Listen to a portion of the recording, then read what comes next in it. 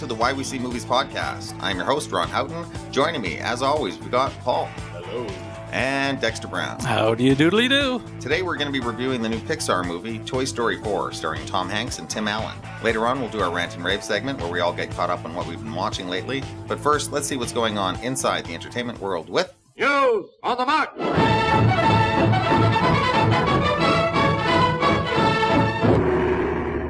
Hey, boys. Hey, Ron. Happy Sunday. Sunday indeed. Okay, I wanted to do just a Comic Con edition of News on the March because there's so much to cover That's this time. about all we need to talk about. Unfortunately, though, last week we had an unexpected passing. The great Rutger Hauer passed Mhm. away at the age of 75. He's one of those actors that anything I've seen him in, I've absolutely loved him. And kind of eerie that he's really well known for playing a replicant in Blade Runner that dies in 2019, and then he dies in 2019. Yeah, I never clued into that. Mhm. Probably his most famous performance, for sure. Uh, he was also in a string of somewhat successful movies in the 80s, like Ladyhawke.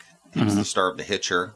A lot of Mhm. people are a fan of that. Those are big film. ones for him. There's an interesting Sylvester Stallone action film called Nighthawks, where he's the villain in that. All right. He's pretty good in that one. Never seen Uh, it. he was in Buffy the Vampire Slayer. He was in a really interesting movie called Fatherland that was kind of an alternate reality movie about if the Germans actually won World War II. Hmm. So it was a really interesting take. I haven't seen it for many years, but it was it was interesting. I read that book and I remember him being cast in the, the lead role, wasn't it? He was Yeah. the, the cop. He was Dutch, right? Didn't he do a lot of a Dutch actor. movies back Yeah. in The- Dutchland? his, Isn't uh, that where Dutch people are from? Dutchland. his great collaboration with the director Paul Verhoeven Mhm. and his their string of films that they did together in the 70s. I've Mhm. seen them all. Keetje Tippel, uh, Soldier of Orange is great. It's kind of this two and a half hour World War II epic about a group of friends who have their friendship has to survive the Nazi occupation. Hmm. Turkish Delight, which is probably one of his most famous foreign films. Boy, is that an out there movie. hmm There's scenes in that movie that will shock you today. Hmm It's like stuff you don't see outside of a Lars von Trier movie. There's a lot of uh, self. There's a scene of self abuse in it that you'll never forget. like Rutgers, all the way with that. He's uh he was not a shy actor. yeah. For other Verhoeven movies, there was uh, Spetters, which is kind of a motorcycle movie with a bunch of kids. He has a supporting role in that, and Flesh and Blood, which was Verhoeven's big fantasy movie of the '80s with Jennifer Jason Lee. That was would his first American movie, wasn't it? right. it? You would think that would be one of my more favorites of his. It's probably his least successful film, but uh, and then he went on to make RoboCop, Total Recall, Basic Instinct. So uh, Mhm. each had uh, big success in the '80s. I'd really like to see their, their movies from the 70s together. I've not yeah, I'd seen a recommend single that one. Soldier of Orange. I know you'll like that one for Mhm. sure. Recently, he had a starring role in a kind of exploitation film called Hobo with a Shotgun. Yeah. Oh, that's right. I forgot about that. I wanted to see that Mhm. mainly because he was in it. Yeah, Huh. he's the best thing about it. He's the best thing about this movie from the '90s called Blind Fury. Yeah, I remember the movie. I'd never seen it. That. and then he had some supporting uh, work in Sin City and Batman Mhm. Begins. Right. So he was working all the way up to Mhm. his death. Very prolific and, and he was talented. Absolutely. One of a kind actor. Nobody will ever be like Rutger Hauer. He's kind of irreplaceable. Okay, uh, let's move into the Comic Con edition of News on the March. First, let's talk about a couple of trailers. I don't know if you guys have caught up with any of these. They all broke around the same time. There was the new Kingsman trailer called The King's Man. That will be the third movie in that series. I didn't even know the trailer was out. Yeah, I hadn't heard of that one. Looks I- like it's going back in time to World War One with the creation of the Kingsman. okay. Has nothing to do, it seems, with the other two. I don't think Taron Egerton's in it. That's an interesting. I like that idea. Just exploring more of the mythology and background story behind. Yeah, it looks more Mhm. interesting than the than the last one. There was Top Gun Maverick. hmm. I know only one of us is probably excited about that. But I thought it looked okay. I'm a big fan of the original, and this looks like for 30 whatever years later, it's amazing that this looks kind of like a blueprint of the original. They got yeah, guys playing volleyball and drinking and singing in a bar scene. It's like they might really be tapping into your nostalgia for the first one. well, hopefully that's just meant for any kind of trailer to get butts in seats, and that there's a little more meat on the bone. Because I mean, I, for all of its faults and whatever, I love the first one. I mean, it is. It knows what it is. Will It you see this new one? Oh yeah, I'll see this. Yeah, one. okay, good. I got someone to review. Just for the uh, aerial photography, I know there's no CGI in it. Tom Cruise is very proud of that. He's doing a lot of the flying himself. It should be interesting to see what they can do since 1986 with the uh, with the camera work in these jets. So this time he's not hanging on to the outside of the plane. He's actually going to be. Yeah, he gets to fly it. Yeah. Mhm. Yeah, he's a pretty experienced pilot from what I understand. Mhm. And to graduate to fighter jets, it's pretty amazing. He must have made a pretty sweet deal with the military to get full access. To- I'm sure the original Top Gun drove up uh, the recruits coming in to exactly. join the armed forces, so Right. they got a lot to gain. Made it look pretty cool. Yeah. Yeah. So yeah, that looks pretty good, and it's amazing just how young he looks. Like there was a shot of him on the motorcycle with his old jacket on, and like double take and squint, and it Yeah. whatever Scientology pills he's taking. okay, uh, the next trailer was A Beautiful Day in the Neighborhood. That's the Mr. Rogers movie with Tom Hanks. This looks exactly what I thought it would be. A really sweet, nice movie coming out at Christmas time with Mhm. probably a great lead performance. And I agree. It's, it's pretty much everything I expected, and it just reconfirms exactly what I thought that Tom Hanks is the perfect choice for Mhm, this Absolutely. piece. It's yeah, I can't wait to see it. It looks great. And then HBO premiered a few trailers. Watchmen, the new trailer for that. Did you watch that? I haven't. I knew it was out. I haven't had a chance to get. Boy, I am getting more it. excited about this. Mhm. Everything I see from it, to the point I almost wanted to turn off the trailer because I was getting too excited. This is um, looking really good. Definitely got an interesting take on it. It's all post the events of the comic book, and something has to fill like Game of Thrones void. hmm So, I'm uh, glad they're taking it a different way because I think there is the bad angle that they could take of just trying to recreate something that everybody is fresh enough off the movie that just happened. Do Mhm. something different and interesting. And Yeah, I've seen a number of promos for it on HBO over the last few weeks. That and his Dark Materials. I don't know if you're going to bring Right. that one up as well, Yeah. but both of those look fantastic. Don't they, though? I Yeah. agree. mhm. Yeah. Yeah, because his Dark Materials is carried off of Golden Compass. It is. That was the original name of the trilogy, I believe, of books, which I loved the movie, The Golden Compass, and I've been very disappointed that it was not successful enough to bring out sequels. I've never read the book, How many so books are we talking? I think there were three books. so I, the plan is to do them all. I would in a assume so. Yeah, I'd assume so. Interesting. Yeah, I was a fan of that movie too. I was a little Mhm. lost in the world. It seemed like just a tiny bit of it they were Mhm. showing you in that movie. Hopefully, it's as good as it looks. Watchmen 2. There was also a tiny trailer for Westworld Season 3. That's Mhm. coming out next year. That looks really interesting Wow, too. I haven't even watched season two yet. Season 2 is really, I can't wait to watch it again. It's so complicated and fragmented. Uh, supposedly, this as was the first season. even more so. Yeah. I'm telling you, this third season is supposed to be more linear, Mhm. more straightforward, uh, not quite as confusing, hmm but definitely going in new places. So yeah, all three of those look good. It's nice to see HBO has something. They've you got know, something up the their sleeve still. Yeah, I haven't canceled my subscription yet. okay, let's get on to the big news finally. The news from Hall H last Saturday, where Kevin Feige for Marvel Studios presented Phase 4 for the Marvel lineup. First out of the gate, May 1st, 2020, is Black Widow, the long awaited prequel movie with Scarlett Johansson. It also stars Rachel Weisz, Florence Pugh, and David Harbour. As we guessed, not an origin story. You were right. It's uh, definitely Budapest related. Yeah. Supposedly there was a, a scene shown, like a fight scene. It's supposed to be very Bournish, very hand to hand combat, in your face kind of action style. Very which is suiting. what I would want. I would Exactly. say. hmm Sounds like it's supposed to take place right after Civil War. Okay. And then next is November 6th, 2020. That would be the Eternals movie. They announced the cast. That would be Angelina Jolie, Richard Madden from Game of Thrones, Kumail Nanjiani, and Salma Hayek are just some of the stars. Good cast. Really Mhm. good cast. Yeah. hmm Eclectic. And yeah. diverse, exactly. Like they're really shooting to be more diverse. hmm I have a feeling that this movie is going to be the substitution for the Inhumans movie that they wanted to do, which was totally Butchered? spoiled. yeah, by uh, the TV show. I don't think it lasted very long. I watched that first pilot, and my God, it was it terrible. Yeah, thanks for taking the bullet for that. Yeah, 'cause, no problem. I- after your review, I had no interest. So awful.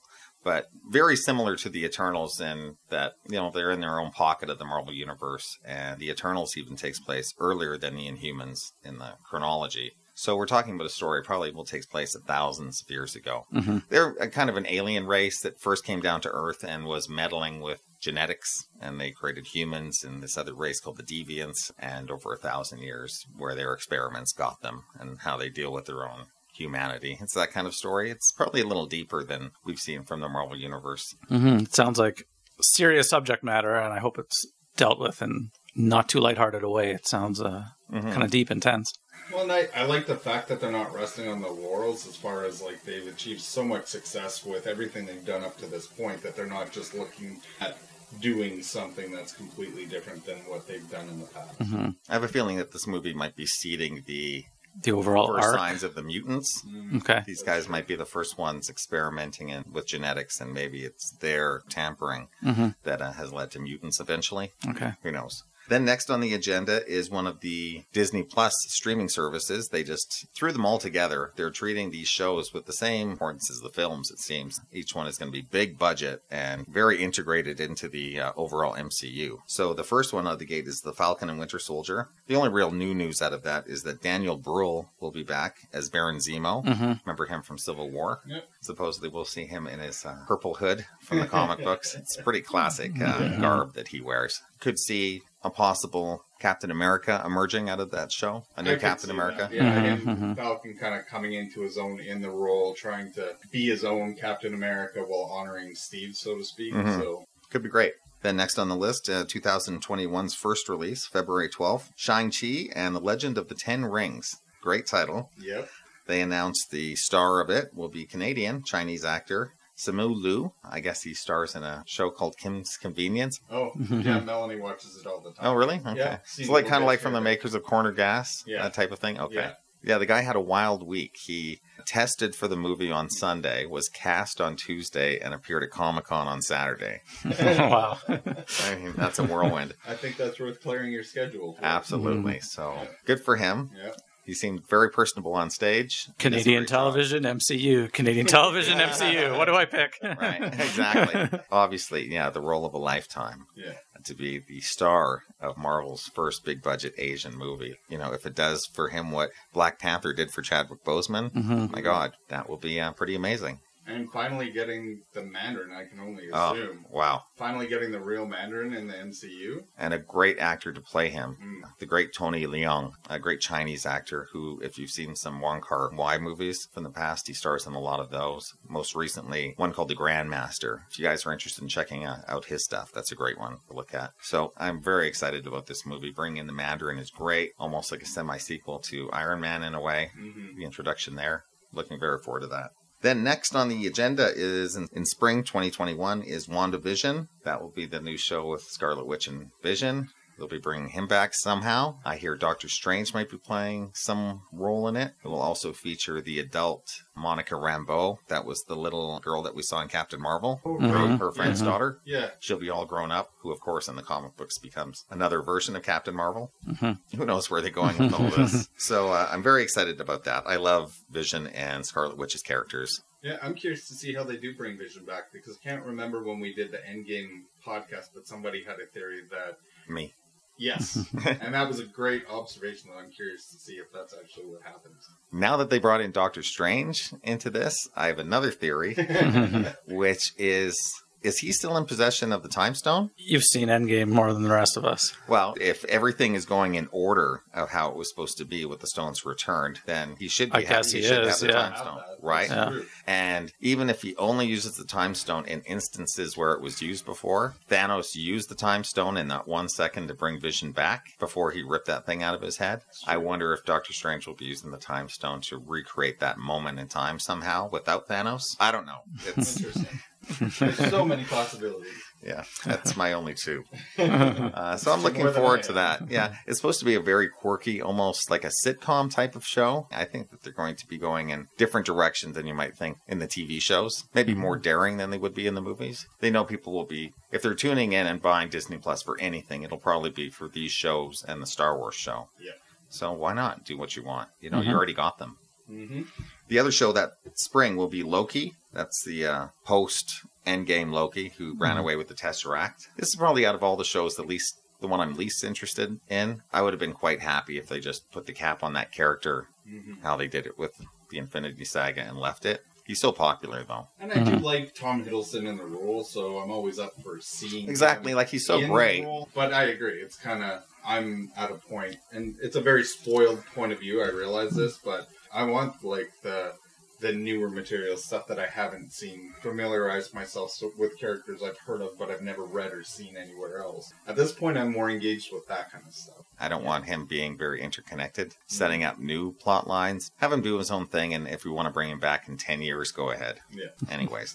okay, then next for the films is May 7th, 2021, Doctor Strange and the Multiverse of Madness. Another great title. Yep. This has been described as possibly the MCU's first horror film. hmm Scott Derrickson, the director, comes from a background in horror movies, so Mhm. that's right up his alley. And it sounds like Scarlet Witch is going to be appearing in this too. Mhm. Great pairing. I'm excited about this one. Me too. I mean, I love horror movies. I mean, we all love horror movies. Just so to see some of that kind of atmosphere and and feeling kind of start creeping into the Marvel universe, I'm all up for it. Benedict Cumberbatch he has been absolutely fantastic as Doctor Strange. Just give me more of him for sure. Yeah, possibly fighting Mephisto, maybe Nightmare. Yeah. Doctor Strange has this gallery of great demonic supernatural villains. It should be very interesting to mhm. capture that on screen. Well, and they did a great job in the first movie with Dormammu. Exactly. And the the look of that, so I can only imagine it's going to get better and creepier. So Exactly. yeah, fantastic. Yeah, sounds great. Then next on the list, summer 2021, the What If series. That'll be an animated series. Jeffrey Wright has been announced as the Watcher, the voice of the Watcher. He's a great actor. He can do anything, in my opinion. He's very good. And it sounds like they've enlisted practically every cast member that's participated in these movies so far to join this series for their Mhm. voice work. That's great. Who knows what kind of stories they have in mind? And am I remembering correctly? I'm sure I read there was going to be a, a story. What if Peggy Carter became Captain America? Could be, but All right, Maybe. yes. just think of any variation that we've Mhm. seen. I'm sure they'll stick to what we've seen only in the movie so far. in my limited amount of comic books that I have from my days as a youth, I have a number of the Marvel What Ifs, and they were a lot of fun. Yeah. hmm What if, What if Baron Mordo became the Sorcerer Supreme? Exactly. I have that issue. yeah, the possibilities are limitless, and to have everybody return to do the voicing of their own character is fantastic. So good. Yeah. hmm Another one I'm highly anticipating. Fall of 2021 will bring Hawkeye, another show on the Disney Plus series. That will be um, Jeremy Renner, possibly in his final role. Who knows how long he's? Maybe he'll sign up for more of these. And it'll be him passing the mantle to the Kate Bishop character. I'm unfamiliar with her. That was after my time. Yeah, that's after my time too. Uh, Hawkeye's not a character I know a ton of. I'm sure he's probably pretty happy to. If he had the choice between doing a Hawkeye movie, a two hour Hawkeye movie, or an eight hour Hawkeye show, he'd probably take the show. Mm. Probably a lot meatier, more to do. Get More to explore. a little Mhm. bit more Uh-huh. because he really is of the Avengers. He's the human touchstone, right? Mhm. Much like a Batman is to the Justice. The regular League. guy. Yeah, he's the regular Yeah, guy yeah. fighting with gods and really keeping them grounded. So I think there's a lot of potential there. for sure. And then last on the schedule, November 5th of 2021. Big surprise for me. I wasn't expecting this one. Thor, Love and Thunder. Mhm. Taika Waititi is back to direct. so glad Waititi is back. Absolutely. I- Sorry, Paul, but I'm so glad he's back. Say that out of everything, this is the one that I'm least excited Oh. for, for obvious reasons. And but- looks like, as I said, um, if they gave Natalie Portman something to do, I'm sure she would return to the MCU. She's returning to the MCU Mhm.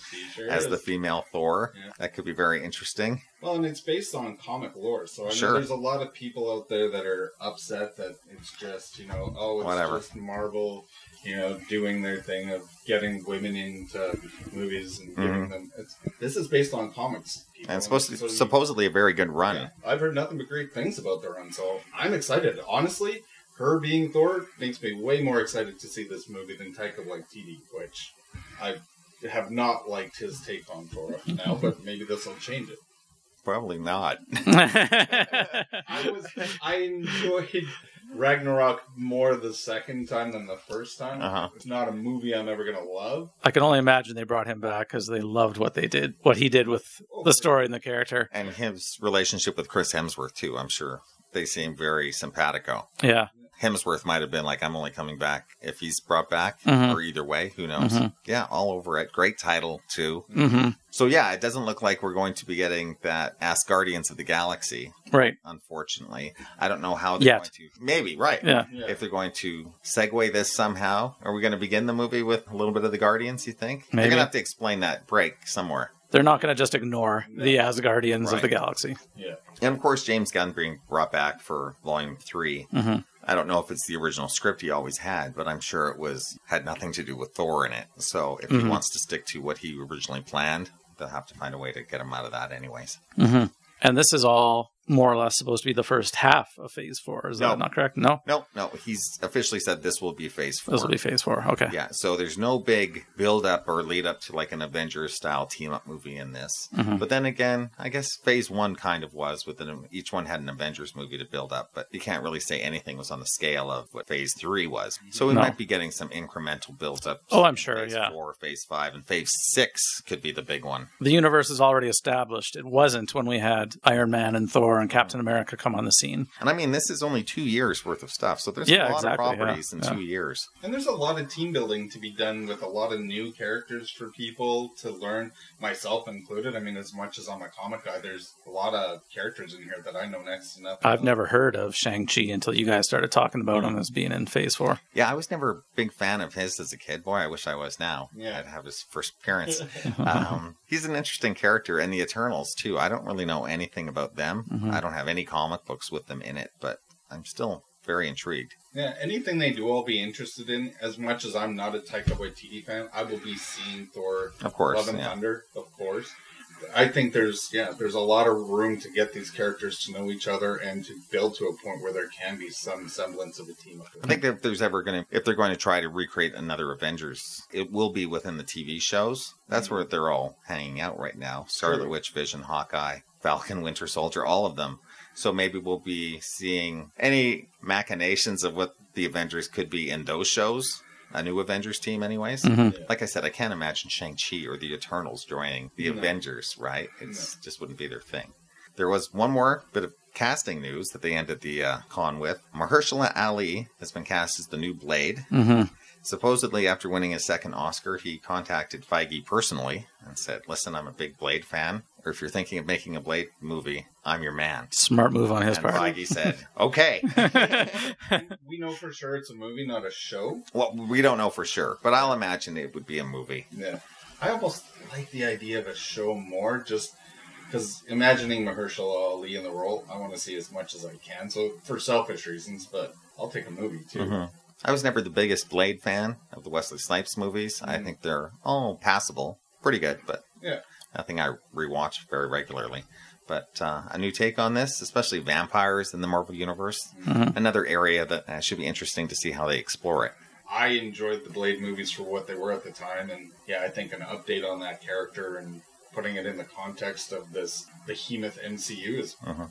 Tantalizing. Yeah, he could be introduced in any one of those upcoming movies or television series, right? And the character be built a little bit before he gets his own show or his own movie in the next phase. Who knows? But I trust in Feige. Yeah. And the fact that he's getting all these actors, he's getting Portman back to do she Thor or female Thor or whatever, or, uh, you know, Mahershala Ali actively pursuing being able to join the MCU and getting all these voice actors to come back. Mhm. People trusted him too. The It's actors trust to him. the point where you don't want to be left out now. No, they they know the stories, they trust the scripts, and shows what they're doing is Right. very good work. If you're a pretty good working actor in Hollywood, you must be, and you haven't been in an MCU movie, you must be asking your agent, being like, "Hey, you know, what's the deal?" exactly. Have they cast Wolverine yet? Because I can do it. Um, poor Wesley Snipes. No, I think his take on it ran its course. They did their job, and Yeah, exactly. it's time for A new for era. something new. Yeah, Mhm. yeah, I'd agree. Okay, that's it for Marvel.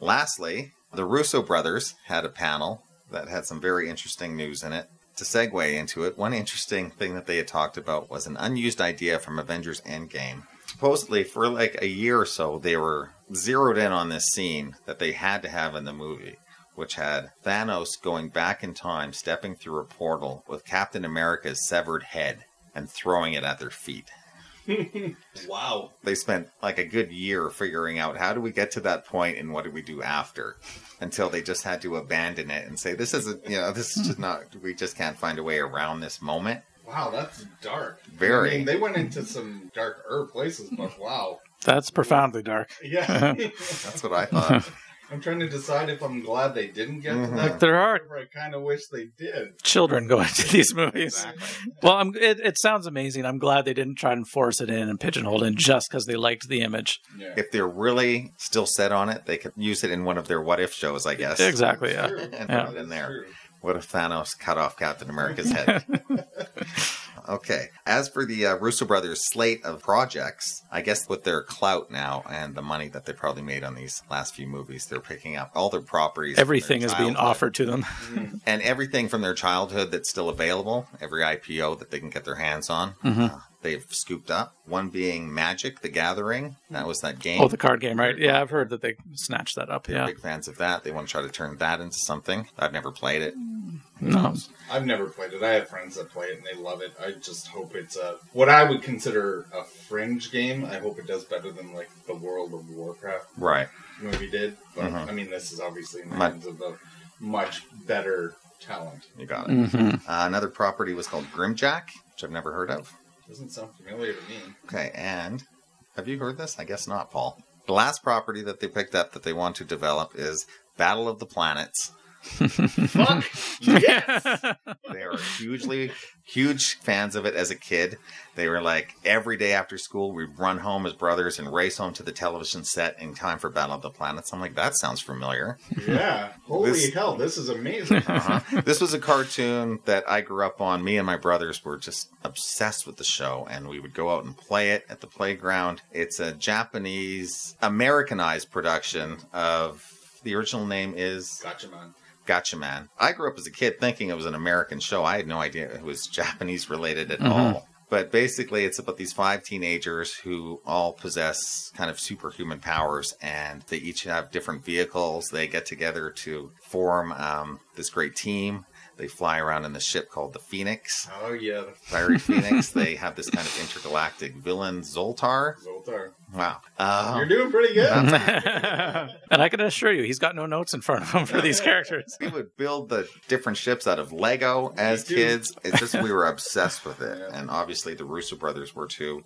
And to think of this property being developed by anyone that I could choose, it would be these guys. Oh hell yes. Holy smokes, am I excited! How did I not hear about this? I have This- no idea. This makes me so ecstatic. Before I came to this recording, I was talking about how I have to get the Gatchaman collection on Blu-ray. I know you Well, have the Battle of the yes. Planet set on DVD, right? The DVD set, which you know, you look at it through adult eyes, you can see the clear change in animation styles Mhm. where they clearly deviated from the original content and made it sanitized for American kids and Mhm. incorporated some droid-like R2D2 and C3PO. Right. I hope that they characters, dropped uh, the Z Arc Seven. Is that Seven. it? Seven Zark Seven. Seven Zark Seven. Right. that can all go. Yeah, that was that was awful. So Star Wars oh, it was clearly a ripoff. terrible. Yeah, I'm sure the same stuff that we loved, they loved, and the same Mhm. stuff we thought sucked, they, They thought did. sucked too. So, anyways, for people out there who know what we're talking about,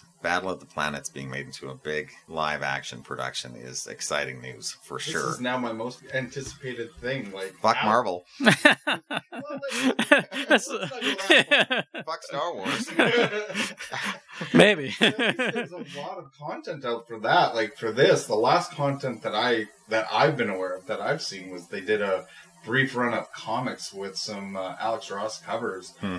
probably about f- at least 15 years ago when I was eating those up because that was pretty much the only content you could get from this property of that. And that would be Battle of the Planets, Battle of like the those Planets. characters, right? Yeah, and I always wonder what they're gonna. If people are more fans of Gatchaman, or I guess most people are more familiar with Battle of the Planets. Right. I don't know how different the originals really are. I've never seen them, so quite a bit different. They were a lot more adult based. There was, I mean, they they never shied away from any of the violence, and the reason the at least one thing I heard how much legit legitimacy there is to it is that there's a character Keyop that he stutters a lot and. Yeah, exactly. He always made a little strange noises, and they always said that that was because they were trying to sync up the voice because apparently the character swore a lot in Really? the Japanese version. So when they were transposing Hmm. his his English lines, they had a lot of filler. Need some filler. Just said eh, speech impediment. Interesting.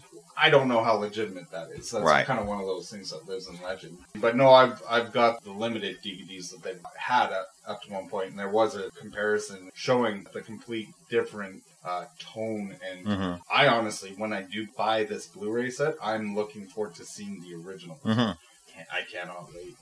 Thanks for making my day, Ron. No problem. I thought you'd be excited.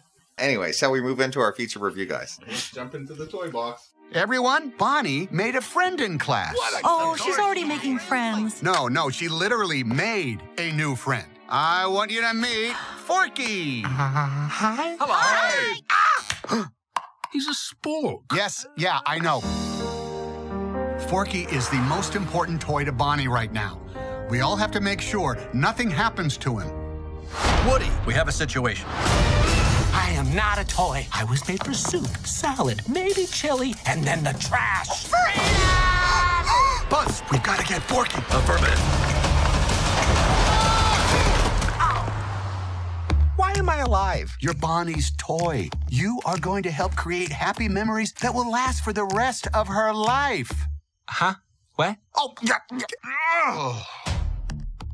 Toy Story 4 was written by Rashida Jones, Andrew Stanton, and John Lasseter. It was directed by John Cooley and stars the voice talents of Tom Hanks, Tim Allen, Annie Potts, Keanu Reeves, Tony Hale, Christina Hendricks, and Key and Peele. The plot? When a handmade toy named Forky joins Woody and the gang, they embark on a roadside trip which reveals just how big the world can be for a toy. I'll begin with our first thoughts. As far as the Toy Story franchise goes, I'm a huge fan of these movies. I love them. Kind of Pixar's, kind of their flagship. Mm-hmm. So I loved each and every one of the first three. And I would say the fourth one is just as good as the previous ones for sure. No lack in quality. Unfortunately, it's been a few weeks since I've seen this movie. You guys will have to help me out a bit. I have Tarantino's Once Upon a Time in Hollywood running through my mind still. I saw that on Friday. and, Okay. uh, it's taking up a lot of space. no doubt. Um, so I really did enjoy it. All my memories of this are very positive. I had a great time, and I'll let you guys rehash the story for me so I can remember a bit. Darren, All right. Yeah, I too. I, I really like the franchise. If you had asked me after Toy Story 1, Darren, are you looking forward to Toy Story 2? I would have said, whatever, I don't need it, and really enjoyed it. I would have said the same thing about 3 and 4 and loved each of them. They're great movies. Uh, had the first one been a flop, maybe we wouldn't have all these computer animated movies we have today. It kicked off a whole era, which is now 25 years old. I love part three probably the most of all of them, and I might even put this second after that one, although it's the freshest in my mind. Do I need a part five? No, but if they made it and it was up to this level of quality, I'm on board. Story wise, however, I don't know if they need to, but anyways, Mhm. love these movies. Paul. Like you guys, obviously, I have loved this series. My wife and I recently rewatched the original trilogy because, unbelievably, she had never seen the second or third one, and it was just as interesting to watch the movies, watching that the progression in animation technology. Mhm. Because I I still love the first one, and I don't even think it's limited. Oh, it still holds up. It holds up, but it's interesting to see just how much more detail and depth. When yeah, when you rewatch it and you see wow, some of the lack of textures and lack of detail, and But you're like, that's not how I remember it. I remember it being so real, but mm, It's still what an achievement it was for a first movie. oh yeah, for sure. I mean, it blew me away, and still, it's. I don't think it's dated when you watch it. It's not I- like no, it's not dated. Yeah. For sure not, but you just you can tell looking at it in Mhm. retrospect that clearly it's not. Oh, it, it has progressed. date, but it still looks great. And I was actually a little mixed when I heard that there was a fourth because I I honestly view the first three as a perfect trilogy. Like it ends on such They a are pretty perfect. Yeah. gripping note. And unfortunately, I didn't love the fourth. I it was good. It was really good, but it just didn't hold as much emotion for me. Mm. And I don't know whether that's because they strayed away from a lot of the core characters a lot more in this one hmm and that's kind of i guess at this point what i'm looking for a little bit more. And that's not to take anything away from the new characters that they added because i thought th- those characters were all really good and served their purpose. For me it just lacked the emotion because it was just kind of the woody movie. And i like woody but he's not my favorite character Right. the series so it's not a movie that i like and story wise i thought it was very good but just yeah for me it just it lacked the emotion. So still very good and i really enjoyed it but i would rank this probably out of the four my fourth favorite was it necessary maybe not but hmm. i'm curious to see if if there's a fifth one i'll be there opening day no no doubt. Yeah, I mean, none of them are necessary, I guess, when it comes down to it. But I agree with you. It's not as emotional. It doesn't carry the same emotional punch. And yet it goes to kind of existential places that none of the others have gone before. True. You know, from the toys perspective, what's my purpose in life? What hmm. can I move on? Can I do something different? Can I do something that I didn't think think I could ever do. And yeah, some of the characters, even Buzz, surprisingly, is put by the wayside quite a bit in this movie. All of these movies kind of have Woody having some sort of internal crisis and having to solve it. Doing so with this new partner, Buzz, which he's been friends with for 25 years now. And Usually it's Woody the one trying to solve the partner's problems, though. Woody's usually the more stable one. He's always got the problem though. Like in the first one, he's got the problem with Buzz. You know, who's this new guy coming Right. in? And then the second one, well, now he's got this crisis. Do I? These guys want me to go to Japan with them. Do I? Should I go go there with them? Is the- is that my place? Yeah. But he's always accepted that leadership role, too, Sure. among them. And this movie is really about him putting that aside. I like the story. That any issue I had with this movie was never about the story. It was just it was It's, a good movie. yeah, I know for. We'll get into this in spoilers for sure, but the concluding scenes, you would think you might be weeping Well, or tearing just up at least, I think right? Toy Story three and how on the edge of your seat you are Mhm. by that like garbage compactor and everything, where you're just like, as an adult, I'm It's- engrossed. in it's more scene, thrilling. It's almost, it's more Mhm. thrilling. It's more horror based. There seemed like more of a sense of stakes. But in this movie, I found which I guess this isn't about that. this movie there's more of a progression i felt like i knew where the movie was going you know about three quarters through i would have been very surprised if it didn't end off the way it did. So it wasn't a surprise that's for sure. Mm-hmm. So i don't think you're going to be having that tense moment where you're wondering what's going to happen you're just kind of waiting for it to happen it's not maybe that emotional punch that you might have expected for the fourth film What it is is it's sweet and satisfying, absolutely and it's a very and maybe on another watch it might even get richer yeah, yeah, it's it's a good wind up for the character. It's it's where probably he should be taken at this point Mm-hmm. in four movies. Did the movie? Um, I thought it was going to be much more Forky related. You know, have to do with the Tony Hale, the Spork character throughout almost the whole movie. His identity crisis, Mm-hmm. and then once they kind of take the detour to this other town, he's relegated really for Yeah. the rest of the movie, and then it turns into Woody and Bo's story. Definitely, I did think it would deal with that more. That's an interesting idea in and of itself. What Mm-hmm. makes him alive? What gives him his toy identity, his life? Is he truly alive? All of the movies are about fulfilling destiny, Yeah. and why are you here, and what is your purpose if you have one. hmm there's really the two stories. There's Forky finding out who he is, and then there's Gabby, who you would think is the villain of the piece, the Gabby doll, who really The most sympathetic villain of to the series. oh yeah, right. She wants to steal Woody's voice box, hmm and you think it's pretty nefarious, but really she just wants to be loved. hmm You know, she wants to be normal, and even the villains in these movies are really just want to be loved and fulfill their destiny in this. I don't know those creepy mannequins. I'm not sure they want to be loved. Yeah, they're the ventriloquist dolls, right? Yeah. Kind of like the Edgar Bergen or something. There. great animation. That's one thing that I Fantastic. always appreciate about Pixar. It's not just okay. Well, we need these creepy ventriloquist dolls, so they have just straight ahead animation. No, like those even they don't speak, and yet they have a character. They have a way about them. They have an identity. Mhm. Something that it's the little details. So Can I be the Ivan in the situation and say, what are the, logically speaking, what are the chances that a small town antique store will end up with four of those things for sale within such an obscure item? But it's great that they're there. Maybe it was one ventriloquist who tried to operate all four at once.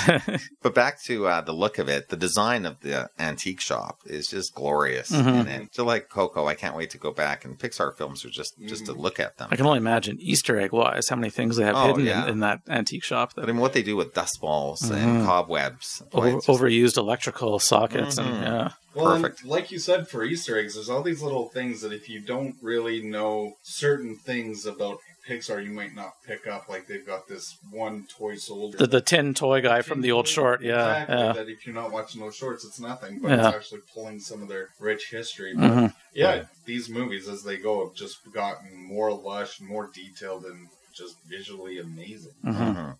But uh, as for characters, I'll totally agree with you, Paul. The rest of the gang is pretty sidelined in this movie, unfortunately.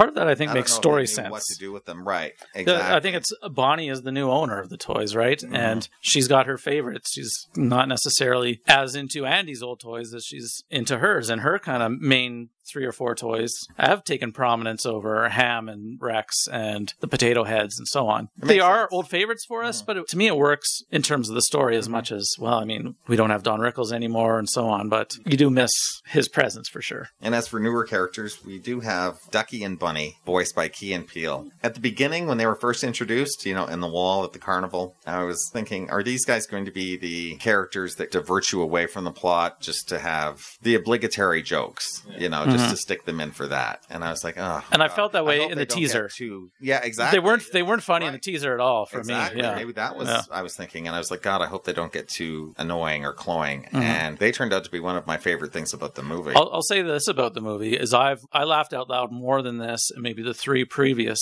Toy Hmm. Stories combined for true belly laughs. And that was mostly at those guys, or A lot. I mean, they're really good. Well, every time they had a plan and they had an idea, and the filmmakers thankfully showed us each idea in detail. Those were brilliantly funny. So smart and funny, and the way they're riffing on each other. You wonder if it's written material or if did they bring these guys in and just let them oh, they go had to it have riffed on the original lines. Must yeah. have. Just Yeah.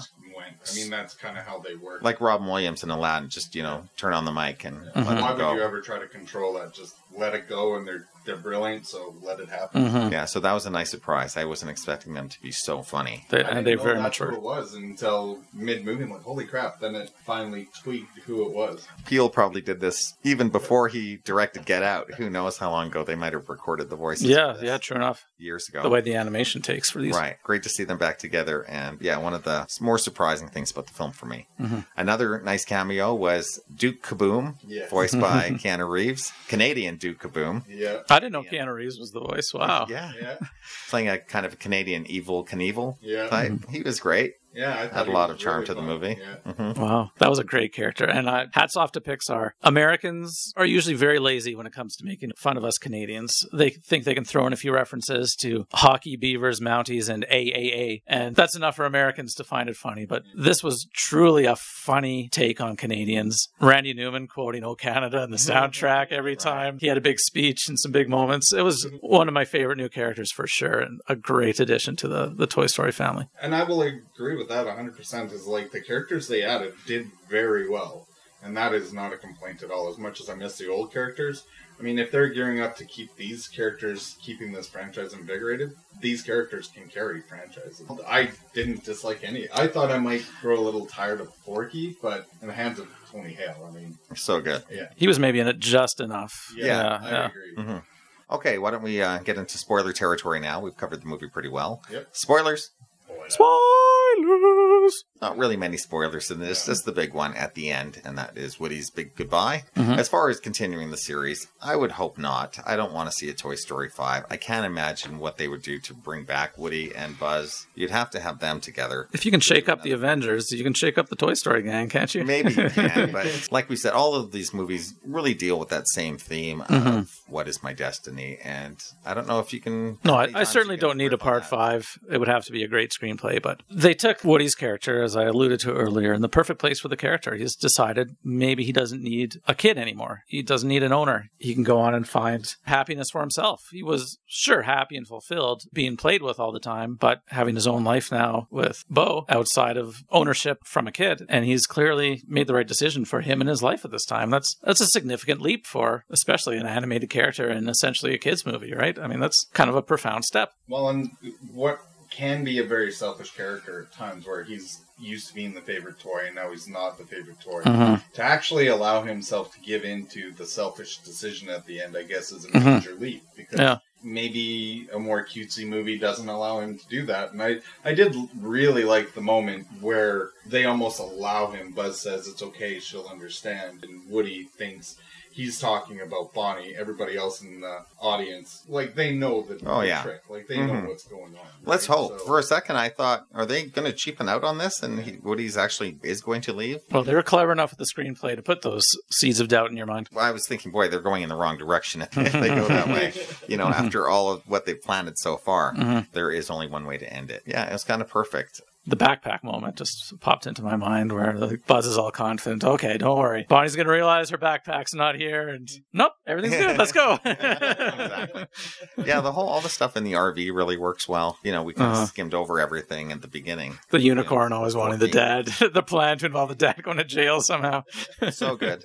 I did totally enjoy this whole movie. Like there wasn't, uh, I was never bored in it, and I always had a smile on my face. Like it's a great movie. It's a, Mhm. it's just it's such a great brand of films, Yeah. And I'd probably agree with you, Paul. It's not my favorite Toy Story movie. They're very hard to rank. to say that it's my fourth favorite out of all of them, it's because I hold the first three up to such a high standard. It's Mhm. not like this is a far cry from the first. It's just that slight bit Mhm. down of that little less quality than the rest. Jedi to Empire. Right. it's, it's that thing of like if it wasn't being held, and, and maybe that's just part of my fault and my expectations. If it's held on its own merits as opposed to being compared to the previous three movies, it stands alone very well. And if it was just being compared to the other animated movies out there rather than the legacy of the franchise, Right, heads and shoulders. I would probably come out of this going, "What an amazing movie! Holy cow, they did great!"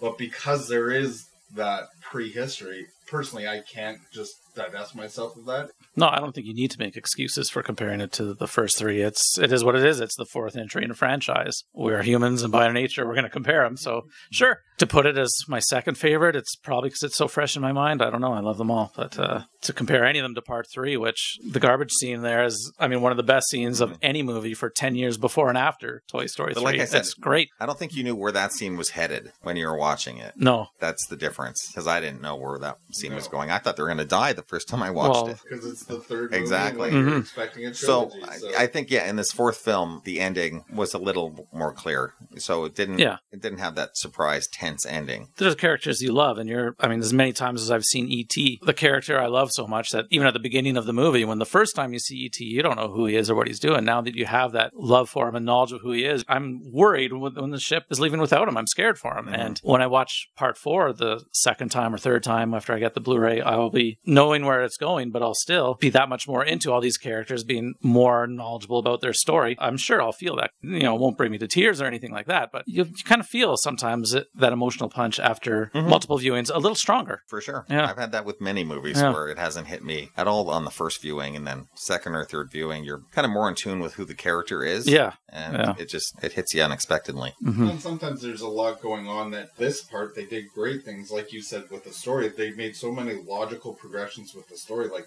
I loved Bo's survivalist nature now Mhm. that she's gone from just being a pretty lamp on a girl's nightstand to she's almost like a Sarah Connor, Mhm. you know, very Mhm. like tough and let's go. Good And comparison. That was fantastic. Like that was And that's the first time we've seen that in the Toy Story franchise that there's this whole subculture of toys living as occasionally used sandbox toys that don't have owners, don't have kids who care for them all the time. Just they're temporary playthings. They're kind of okay with that and they're kind of okay with not having owners at all and just being out on their own. Like as Darren said, how many animated films do you know that even delve into existential ideas? yeah. Exactly. Yeah. Like very none, right? I mean, that make you think along uh, Pixar movies and that's about it, right? Mhm. Speaking about expanding on the universe and the franchise and taking each film to another level, the first three have been very strict with the rule that if there's humans present, those toys are inactive, they're not talking, they can't do anything. And they broke that rule for this one several times. Yeah.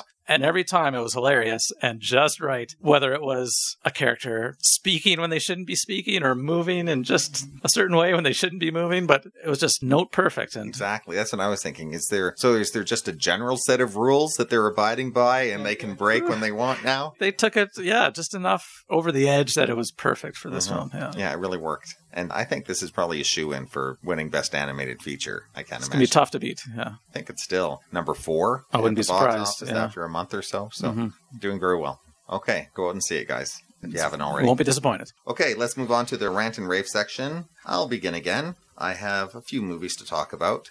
I caught up with some from last year. First one is called Welcome to Marwen. It's written by Caroline Thompson and directed by Robert Zemeckis. It stars Steve Carell, Leslie Mann, Janelle Monáe, Eliza Gonzalez, Merritt Wever, Gwendoline Christie, and Diane Kruger. It's got a great supporting Mhm. cast of female actors in it. Really good. Uh, anyone who's familiar with the documentary Marwencol probably has seen the ads for this. Uh, this is the Steve Carell toy movie. But if you know, um, if you know the backstory about uh, the true story of this guy, um, Mark Hogancamp was his name. He was a real guy who was savagely beaten for making some cross-dressing comments. It was a hate crime, definitely, and these guys beat him so hard that they uh, beat the memory right out of him. He got a severe brain injury. Yeah. Absolutely. Spent months in the hospital in a coma for a while and has basically um, coped with the attack by um, inventing this entire world where he lives of dolls using kind of classic G.I. Joe figures. Yeah.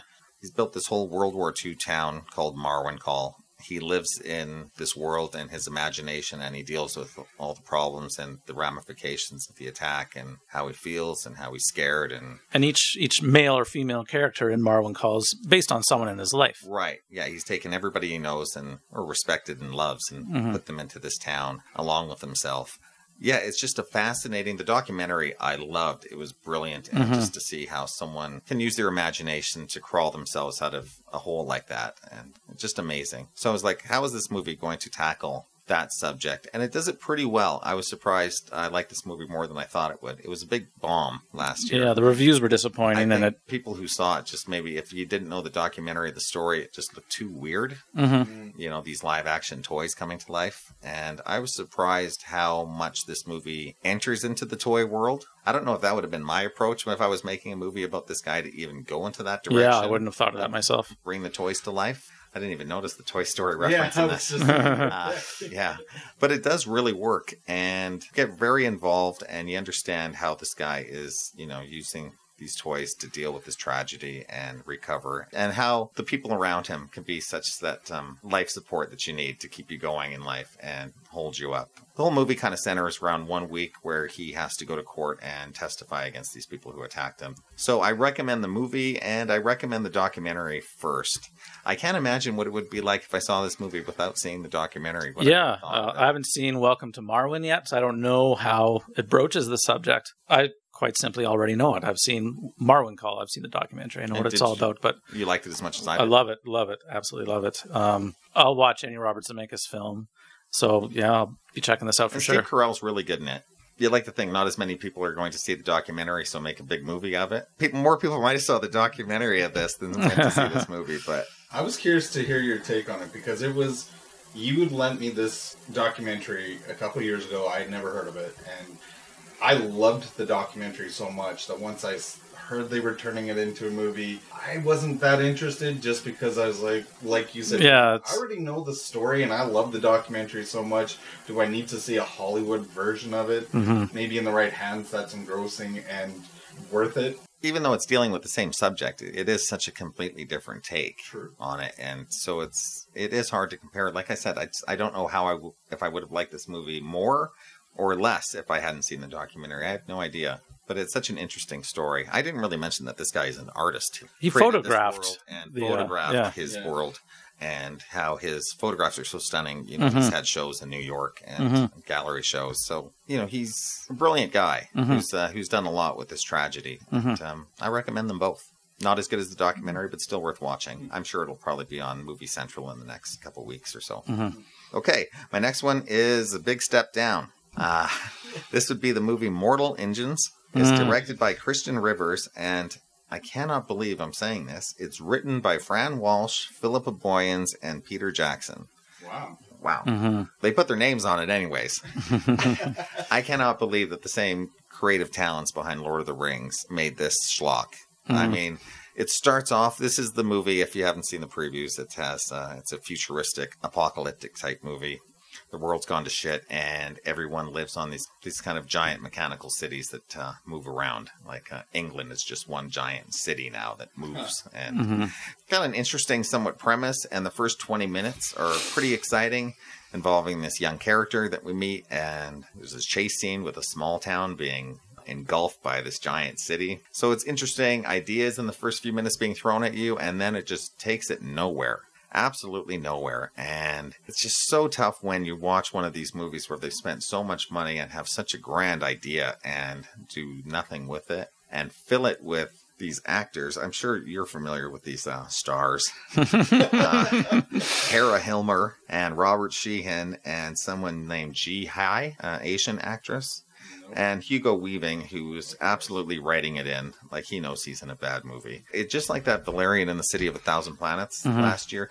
Don't stuff it with two people who can't act, people who have no screen presence and no charisma, mm-hmm. zero charisma. And they have this one actress, Jihae, She's kind of doing the Laurence Fishburne thing from The Matrix, kind of this mysterious, enigmatic martial arts character. I'm sure is supposed to be nothing but charismatic. She is so boring in this. This is only like her second movie. What are they thinking? Why would you spend this much money and hire people who have been not tested and, Mhm. you know, in the movies to have any sort of Like, appeal? No legacy, no appeal. Right. I mean, it's it's just amazing that they couldn't get better talent. I think maybe the problem is that you have these, and maybe I'm first of all wrong about my understanding. I think this is based on a popular series of teen fiction, like Hunger Games esque, that kind of stuff. Oh, is So- that right? Yeah. Oh. So I mean, the Hunger Games and the Twilight series are massively successful and It doesn't seem popular. anything like in that world of teen-oriented stuff. Like it's not that. It seemed Well, maybe they were just banking on Maybe. having that audience, that built-in audience. That's enough. I mean, if shitty movies like the Maze Runner franchise can keep bringing them into Right. the audience, maybe we can do this. I don't know. I definitely have higher hopes than those movies for this one. I thought at least it has an original concept to it, Yeah. and of course the team of you know the Weta team behind it. Yeah. I just I can't believe that the dialogue in this movie is like clanging bad and Mm-hmm. just one after another. These lines that you you just can't believe the writers of Lord of the Rings worked on this. So they went to the bed. Absolutely. you know, I wanted to so enjoy it the first half an hour, and I thought, okay, it's maybe it's going to go somewhere, but it's one of those where it was a real grind to get through to the end, and you just don't care. By the time your big action finale comes, and you're bored and you don't care anything about the characters on screen, you're in big trouble. Yeah, real bad stuff. Stay away from Mortal Engines. Okay, and the third one I want to talk about, I'll be very quick. It's the new The Movies series on CNN. It premiered a few weeks ago. It's a six part series. It's produced by Playtone, which is Tom Hanks and Gary Goetzman's company. They're breaking the series down by decade. I think the 1970s are on tonight. They're doing the 60s, 70s, 80s, 90s, 2000s, and the first show will be a it's called the Golden Age. They're going to try to cram from the 20s, 30s, and 40s and 50s into one show. Good luck with that. Anyways, it's not bad. For fans of films out there, check it out. Definitely. I didn't learn anything on this, but you guys might. I don't expect to learn anything from shows like this, but they are talking to uh, some interesting actors and filmmakers Paul Thomas Anderson, Steven Spielberg, Martin Scorsese. I mean, they got some good people to talk to, some not great ones too. Yeah, even if you're not learning something new by a documentary like this, there's still it's fun to watch that talent come together and talk about the movies that we love. And hmm Will you watch something like this? yeah, I've been recording it. I haven't watched Okay. any of them yet, but I'll get to it. I'm sure me and you know the stuff Yeah, I'm, backwards and forwards, but like you said, we're not going to learn anything new from this, but still, It's interesting They're, they're to fun see to watch. what's included too. Mhm. Like the whole '90s show, I kept waiting, waiting, waiting. When are they going to talk about Eyes Wide Shut? And then they didn't even mention it. I was like, wow. Yeah, So there's been a few of those every show, which is interesting. The inclusions and exclusions, still really good. Each episode is two hours. Definitely um, worth checking out. Okay, that's all I've got. So, welcome to Marwen. I recommend Mortal Engines. I don't, and the movies. If you're interested in the movies, which you should be if you watch the show, um, check it out. It's on CNN every Sunday. Okay, that's all I've got. Paul, you want to go next? Sure. I'll start with just a quick catch up on something that I've actually reviewed before. Previously on the show, I reviewed Anne season one. I think they've done a little bit of rebranding. I'm sorry, M. Anne, A N N E, Okay, Anne. Right, like like CBC gotcha. series. Oh, right, the Anne of Green Gables show. Mm-hmm. Right, the gotcha. update of that. Gotcha. So- call it Anne of Green Gables so we know what you're talking about, Paul. but it's not. Anne of Green Gables is the 90s or 80s or whenever it was. They finally released season two on Netflix, and there's been a rebranding, and I don't know whether in the States it was always called Anne with an E, but I know CBC always just called it Anne. But now it's just everywhere. It's branded Anne with an E, the name of the, which just seems awkward. That's Weird changed- copyright thing. yeah, they've just they've rebranded the show, but the opening and everything is still the same. Like they use a head by a century from the hip. It's a gorgeous opening sequence. Season two is really strong, maybe not quite as strong as season one. Like they seem to try to bring in maybe some more modernistic views that I'm not sure were appropriate for the time, but it works within the context of the story. And all in all, I really enjoyed the season as a whole.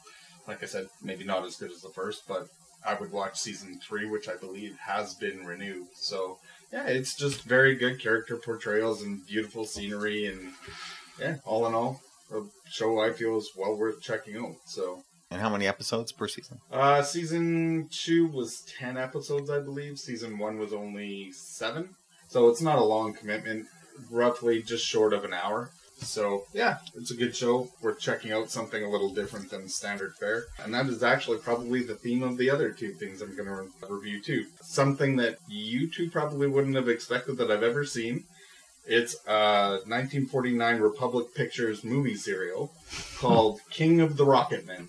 Hmm. Have either of you seen it? I've heard of it. No, I've not seen it. Yeah. Not usually the thing that I would even have watched or have access to, but I was just looking through movies one day at a local DVD slash Blu-ray shop, and this cover really captured my. I know the cover, yeah. Yeah, the cover really captured my eye, so I was like, oh, what is this about? And it was pretty cheap, and I almost bought it, but then I looked on YouTube, and all 12 installments were there for free on YouTube. So I thought, hmm. well, okay, I think I'm just going to be the cheap ass and just watch them on YouTube, and if I like it, I'll buy it. Well, I will be buying it. It's actually really good. So, as I mentioned, it's a 12 part movie serial from 1949. A movie serial, kids. Yeah. Alright, so- Have you ever talked about those I don't think so. Back in the old days, before your movie would have started, you would have had uh, a whole bounty of things before the show started. Instead You of would have had trailers, you watched them Well, anyway? you would have had trailers. You would have had a newsreel with news of the day, and you would maybe have had a few film shorts, You'd have a live action short, a documentary Sure. short, animated Right. shorts. cartoons, yeah, and you would sometimes get a serial as well. It could be Flash Gordon, Captain Video, or King of the Rocket Men. exactly. And usually, what, about five, six minutes long? These were actually the shortest one is about 13 minutes. The Okay. longest is about 20. So That's longer for a serial. Um, They'd fit them within a reel, I think, is what Right, exactly. is how they would do it Right. back then. So you have a certain expectation when you watch something of that nature from that era, as far as I mean, obviously the special effects aren't going to be to the level that people see today. If you're expecting that when you watch this, then don't even bother. No, they were kind of not even B productions. They were more like C Yeah, grade For productions. sure. Yeah. Yeah. Right, one set. One What, set. the, or- the big hook, of course, being that it was a continuing story. The Right. serial meaning it, the story never stopped, and usually at the end of one of these, it would be a big climactic cliffhanger, which would force you to go see the next one. Mhm. Exactly. It's like watching a TV series that you had to go to the movie theater to see it, Mhm. basically. So, like this one, I guess story wise is kind of standard fare. You have your big bad villain who wants to overtake the world, and you can tell how people in their professions were respected at that time, just in the fact that scientists, scientists, scientists, mm-hmm. right? Like, you know, this big bad villain who wants to overtake the world, he's going to off all the biggest American scientists, and that's going to help him achieve his goal. So, I mean, you have to take it for what it is, and mm. that makes it sound goofy, and it really doesn't come Not across really. goofy. At that time, America had all those German scientists who were building all the V2 rockets. It was that was happening. Yeah. And and there's a reason why these serials were a big, big influence on George Lucas and Steven Spielberg, Oh, yeah. right? I mean, Star Wars and Indiana Jones, we have those today because of Spielberg and Lucas's love for these old serials. For sure. And even I think Dave Stevens, who was the creator of the Rocketeer in the Mm-hmm. comic books, he says the inspiration for that character was from King of the Rocket Men. and that's funny because Especially the outfit. Yeah. I was gonna say, watching this, like within minutes, you see the main character don the outfit more out of necessity than anything, and he goes, "I'm like, there is no way this has not been an influence on the Rocketeer. Mm-hmm. Like the Rocketeer is clearly just a more updated and quote unquote cool version of this." You got it. And this is, yeah, I really enjoyed it. And like I said, I will end up buying this because I enjoyed it so much. And to the point where I've added quite a few other movie serials that can be found on YouTube that they've got the whole movie serial on a playlist that Yeah. you can just watch them piece by piece. And Flash Gordon That is one of them. with Buster Crabbe. they used to get all these former Olympians to uh, star in these things Yeah. for some reason, like Johnny Weissmuller. And They yeah, just look good in the Mhm. I guess so. Yeah. And the good thing about it too is because there's certain expectations that you watch these things with, as like I said, low budget special effects or whatever, but also the role of women in it is, you know, as far as you expect, like, oh, she's just going to be the damsel in distress. There's a really good performance by an actress by the name of Mae Clarke. She's not anybody I've seen or hmm. recognize. I don't know if you two recognize the name. I know the name, but Yeah. I, I couldn't tell you what She movies I might good- have seen her in. She has a good turn as a as a news reporter, and she is not a damsel in distress at all. She's in the mix of figuring out who. The, No. A lot of these old serials, the the woman was the hero of them. Yeah. And she very much was. Like, yeah, she was instrumental in trying to track down who the evil Dr. Vulcan was. Mhm. And any scene of Dr. Vulcan, you see him talking, but it's always behind. It's a silhouetted Of course, shot. right. Mhm. Not to give anything away. But Dr. Claw.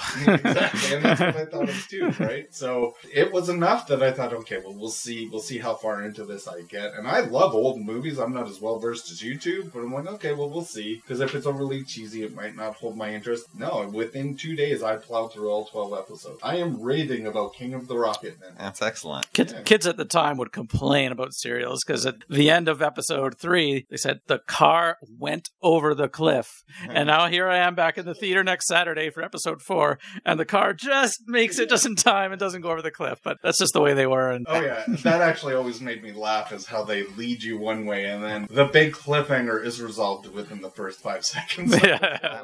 That was Annie Wilkes' big problem in Misery. Right, right, She goes yeah. on about that whole rant about Yeah, that that's right, yeah, to James Caan. And I think if someone wants to see something similar theatrically to this, uh, check out Sky Captain in the World of Tomorrow. Yeah. Yeah, with Jude. Law and Gwyneth Paltrow. That's very much based on the old serials too, and has Mhm. that flavor, and it's really good. It's a I hidden thought gem. of that too, and I I loved that at the time. I know a lot of people didn't. I loved it. and I I absolutely Ate it loved up. Yeah, Mhm. me too. I was actually kind of hoping it would do well enough that there'd be more. Yeah, me sadly, too. Mhm. That was not the case. Yeah. Okay, good, Yeah. good pick there. Thanks. So the second thing I'm going to talk about is a very short documentary series that was done in 2009 by ITV. It's a documentary series called Billy Connolly Journey to the Edge of the World. I stumbled upon this on cable television probably about four or five years ago just by happenstance and was thoroughly engrossed. I love Billy Connolly, it's no secret. He tickles my funny bone. He's so engaging. I was lucky enough to see his live performance in Calgary three or four years ago. He came through and it was everything I wanted. He just had you eating out of the palm of his Scottish comedian, yeah. Yeah. For those who aren't familiar with him, Yeah. yeah, I've seen him live too. He's brilliant. For those of you that have watched The Hobbit, he does a voice of somebody in The Hobbit. I can't remember which character. but- One of the lead dwarves uh, Yeah. that come to support the main 12 dwarves in the final Yeah. battle at the end. He's the kind of Not his best work. He's better as a comedian. Oh yeah, I, yeah. I just find him so naturally engaging and disarming. Like I don't suffer star worship. He's somebody I would love to just sit, hang out with, have a beer with. Mhm. After watching this series, I'd love to travel the world with this guy. Like he's just he's an older man, but he is up for anything. He will do anything. So the nature of this documentary, it's a four part dec documentary, and it's all him retracing the Northwest Passage. So he starts out on the east coast of Canada and goes through the most northern parts of Canada, and then comes out on the west coast. And then watching the the behind the scenes afterwards, you can see kind of the toll it takes him because it was a ten week journey. It's not a short venture by any means. No, it's but- the Northwest Passage. yeah, And and he's probably in his seventies, right? yeah, and he's afforded. There's certain parts where he takes a plane or whatnot, but this series is as much about the people as as it is the the terrain and the beautiful cinematography. Like, there's many great sweeping shots of him riding a motorcycle down a mountainside road or you know on a coast. But for me, it's really when he starts engaging the people, like the people, the Inuit that live in the north and their living conditions. And this is ten years ago, and what they do to survive. And we're in an area of Canada where we don't have to do the things they do, and so you look at that through a certain lens. He'll even say like, "This is so foreign to me, and I hate it, but I totally understand why they do it." So yeah, it's a very engaging series, and I look forward to checking out many, many more of his. He's he's got a couple documentary series that do this. He's got one where he retraces Route 66. Got an upcoming one. I think it's only a two-part one where he's actually in Scotland, and I think it's called Made in Scotland. He's such an engaging guy that I just. He's kind of like the long lost uncle. I always look at him like that. He's like somebody that I could be related to. I'm Scottish, so maybe I am. I don't know. but uh, yeah, thoroughly engaging, and yeah, I can't rave about this enough. Just an amazing man and a really eye-opening series. Fantastic watch. Yeah, they sound good. Mm-hmm. Title of that again? Billy Connolly, Journey to the Edge of the World, All right, and then Anne with an E. with an E, Yeah. and of course King of the Rocket Men. Yeah. Excellent. Okay, three interesting choices. Okay, Darren. All right. Dex, what do you got? Okay, I've got three uh, micro reviews and then two longer reviews. Uh, for my micro reviews, I'll first want to bring up a short film, a short sci-fi film called Skyfighter. I've talked about it earlier on the podcast, and I've posted some stuff on our Facebook page. It's uh, written and directed by the guy who started Film Score Monthly. It's kind of a spec film he's done because he wants to make this into a feature film. This 20-minute short is not really viewable on the internet right now because it's playing the film festival circuit, and that's obviously the right route he needs to take. If there's any film festivals in your area, wherever you are, have a look and see what the lineups are. And if Skyfighter is amongst them, check it out. It's a really good sci fi short, interesting idea. It's like Memento in space. And I think it could make a really good feature film if he gets the chance to do that with it.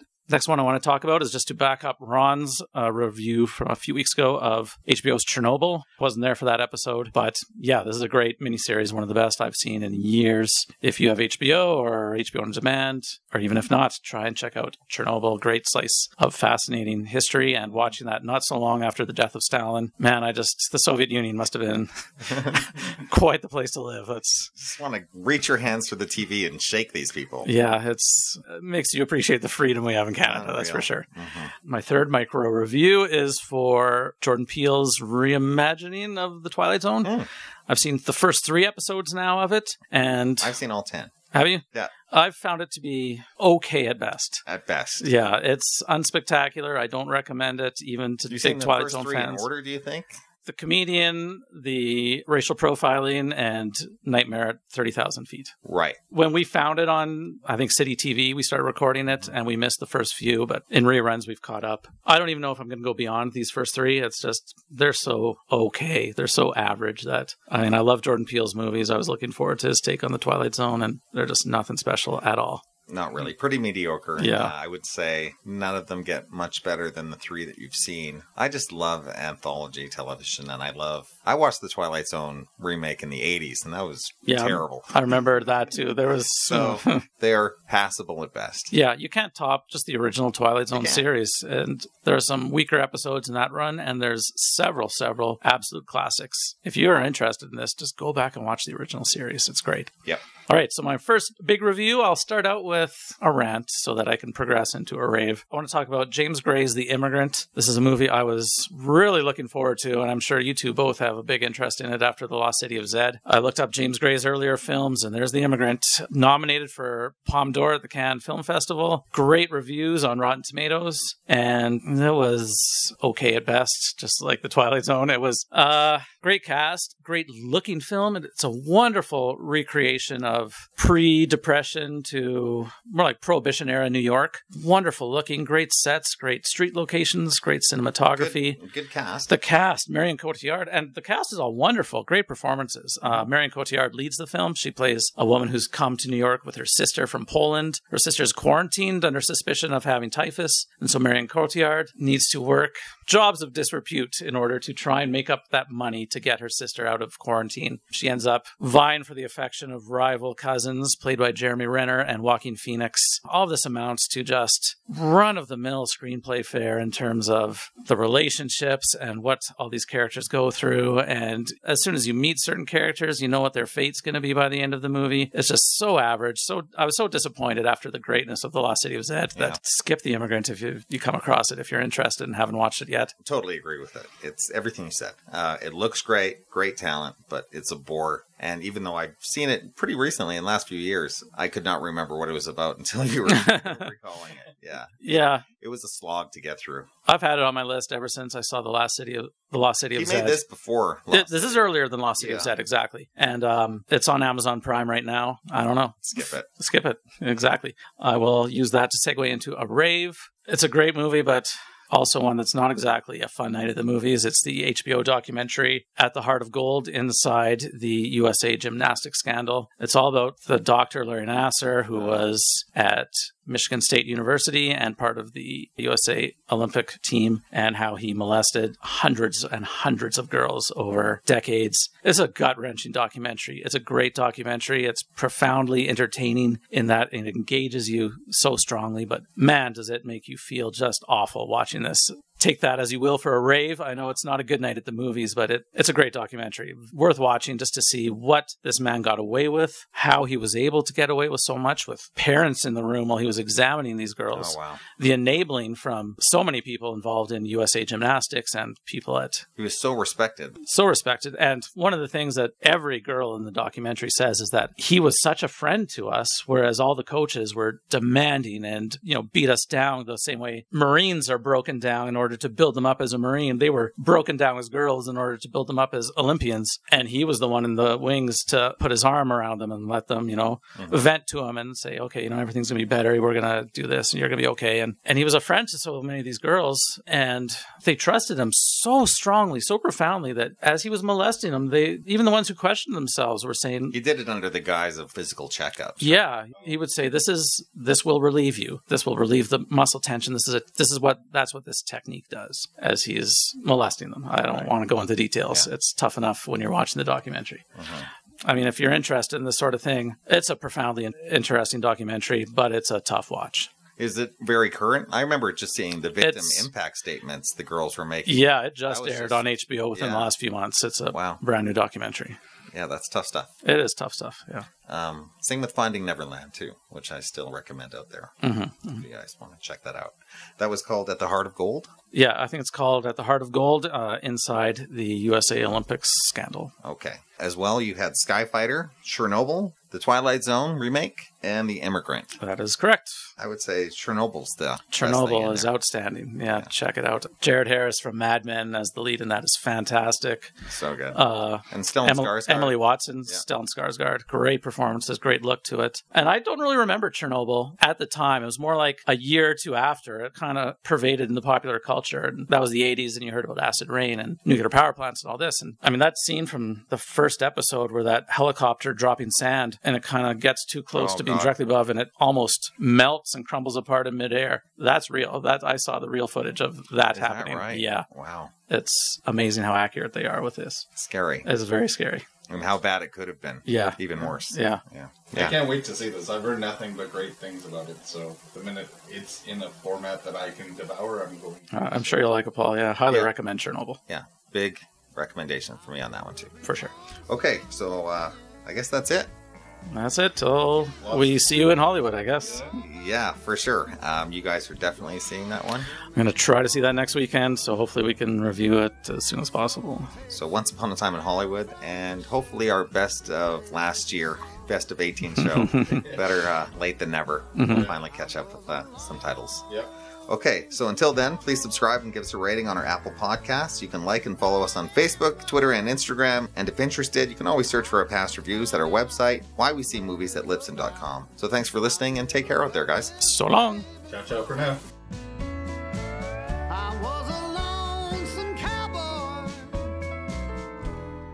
but not